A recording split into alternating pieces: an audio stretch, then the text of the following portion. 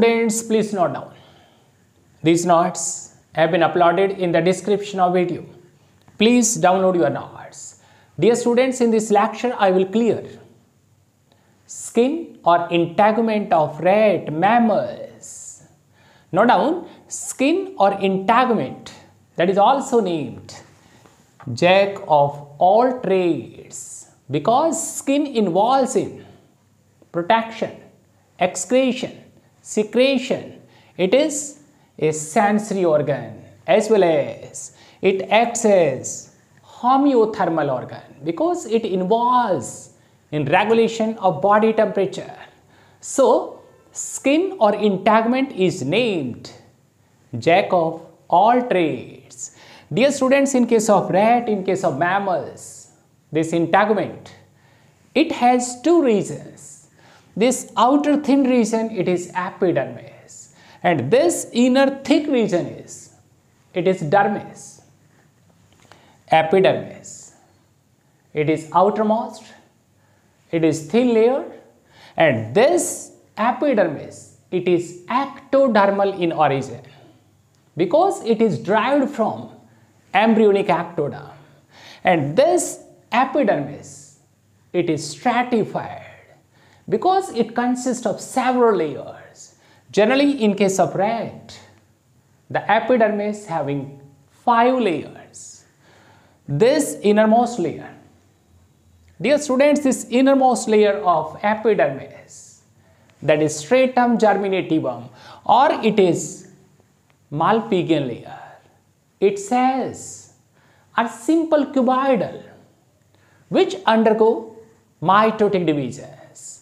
So these cells give rise new cells.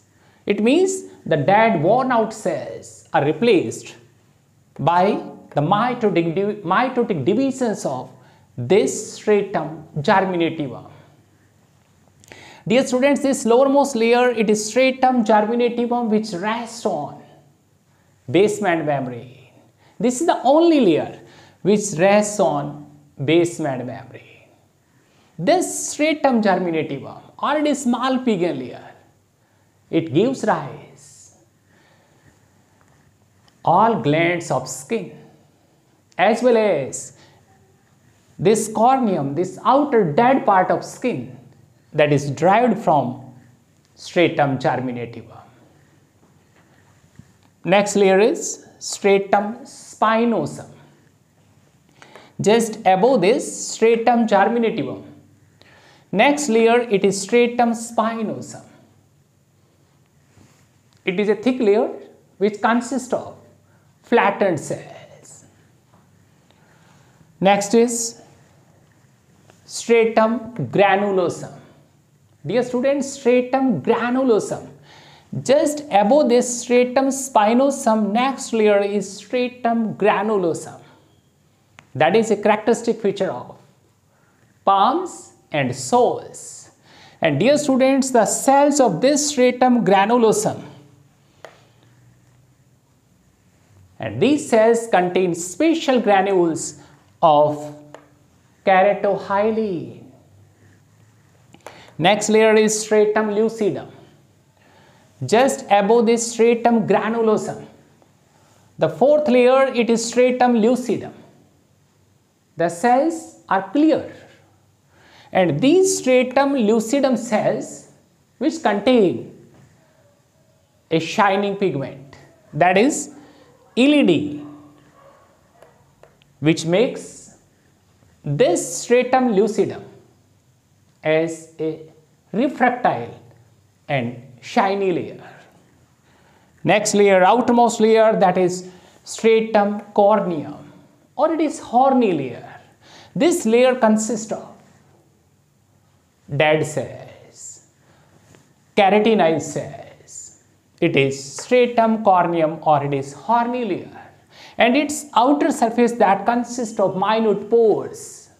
Through these pores, the sweat gland opens as well as hair follicles come out. Dermis. This inner part of skin that is thick. It is mesodermal in origin as it is derived from embryonic mesoderm.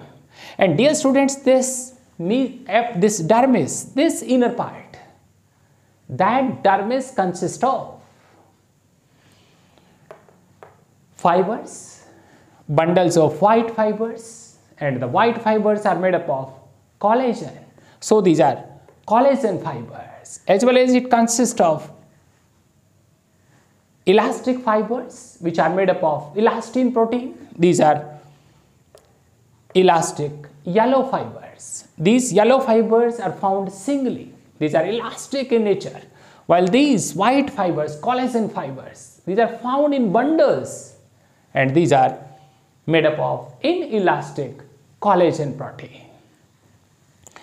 In dermis, the blood vessels as well as lymph vessels are present. Nerve fibers and the muscle fibers also present. Here, the hair follicle and the hair is connected with this erector pili muscle. Not down competitive exam student, this erector pili muscle which associate with this skin here. This is the smallest body muscle, erector pili muscle. The nerve spline is well developed in case of dermis and in the matrix of dermis, several cells are present. This one is melanocyte. It is a pigment containing cell that secretes melanin. This one is mast cell, mastocyte.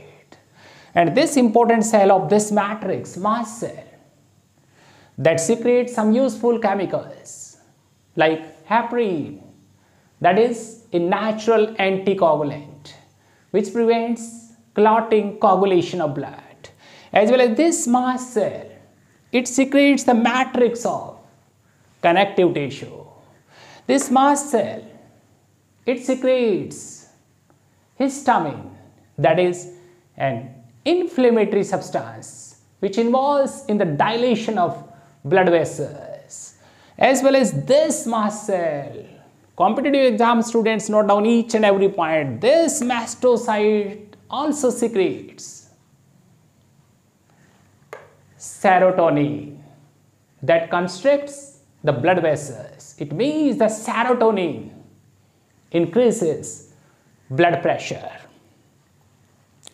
Another cell is that is fibroblast as name indicates is fibroblast that is present in this dermis which involves in the formation of these white fibers, yellow fibers. It means the fibroblast. These are fiber forming cells. In this dermis, another type of cells, these are adipocytes. Not down adipocytes, fat cells, fat storing cells.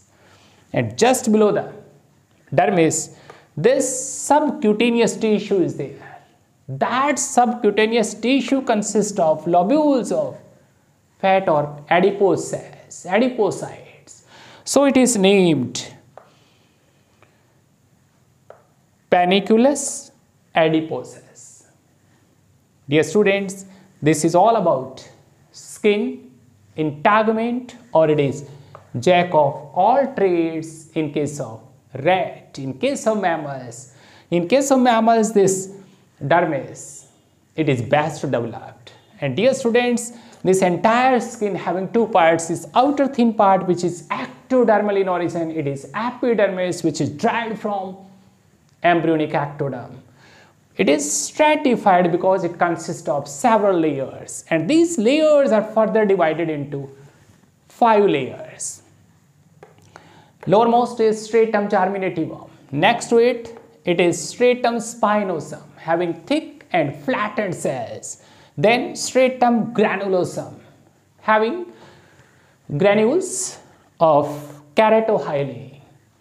Next to it, another stratum lucidum, a clear layer, shining layer, refractile layer that consists of eleidin granules And this outermost dead layer, it is horny layer, it is stratum corneum that consists of minute pores through which the sweat glands, these are sudoriferous gland, opens as well as through these pores hair follicles comes open. This dermis, which consists of several cells, nerve fibers, muscle fibers, blood vessel, lymph vessel, and the fibers, collagen fibers, yellow fibers, and beneath this dermis, subcutaneous adipose tissue layer is there. It is panniculus